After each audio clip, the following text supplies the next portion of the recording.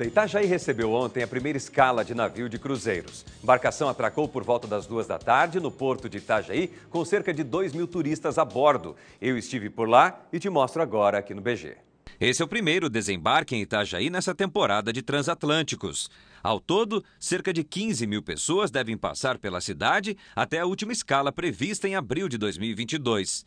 Todos os passageiros vão passar por avaliação de saúde. A triagem que está sendo feita aqui em Itajaí para o embarque da costa está sendo avaliado a questão da carteira, a situação vacinal e também cobrada a presença de teste negativo para Covid. A avaliação de sinais vitais, se a pessoa está febril, com a carteira de vacinação completa e com a presença do exame, é possível sim ter é, eventos dessa magnitude hoje em dia. Além do desembarque, Itajaí também é ponto de partida do navio de cruzeiros. É o caso do Paulo, turista paranaense. De Curitiba, veio para Santa Catarina embarcar com a esposa. Nós vamos usar um pouco o navio em uma rota brasileira.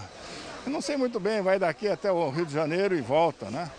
Não é um cruzeiro que inicialmente estava previsto ir para Argentina, Uruguai, etc e devido à pandemia ele foi cancelado e alterado o percurso. O local de espera para o check-in foi improvisado. Tendas foram colocadas na lateral do centro eventos. Tem algumas cadeiras, algum, algum conforto, né?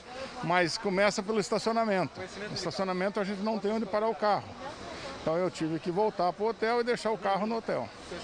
Isso eu acho que poderia ser melhor, porque eu venho de Curitiba né, e eu tenho que deixar o carro aqui por 10 dias. A temporada de cruzeiros tem 15 escalas do navio Costa Fascinosa programadas para 2021 e 2022. O município já se programa para o ano que vem a instalação de um novo pier com melhores condições para o recebimento de turistas. Nós estamos muito felizes de poder estar tá tendo essa opção novamente e nós da cidade estamos, estamos com um projeto do novo terminal de passageiros e a tendência é que Itajaí seja o hub do Mercosul nas escalas de cruzeiro. A vinda de turistas com o Costa Fascinosa para Itajaí deve movimentar a economia local, impulsionando o comércio e outros serviços. Pelo número de passageiros que vão passar por aqui, 19 milhões. Esse cálculo é feito pela CLIA, que faz pesquisas constantemente sobre o perfil do turista. Então é um turista realmente buscado aí por várias cidades, né? E no mundo afora, né? Então o Itajaí tem esse privilégio de ter esse apoio do porto aqui e ter toda essa, essa particularidade do embarque, desembarque e o trânsito também.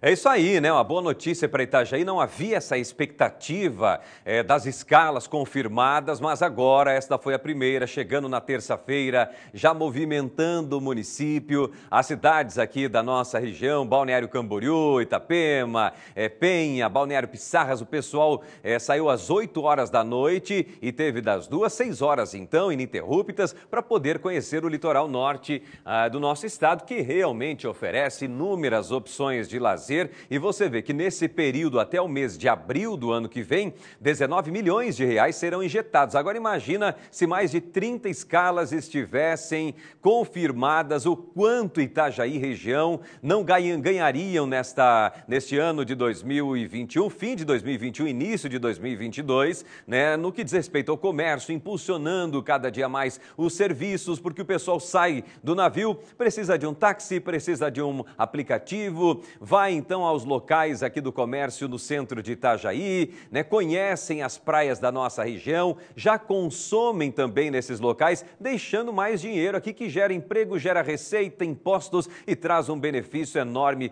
para toda a nossa comunidade. Que bom, que bom que Itajaí está agora se reorganizando. O ano que vem a previsão, então, está é, num trâmite entre a autoridade portuária e também o município de Itajaí para a readequação desse pier, porque o local previsto é um local do porto. Então o município está negociando esse espaço para saber o que poderá ser feito para gerar mais conforto para as pessoas que vêm de fora e que desembarcam e aqueles que embarcam também aqui no município.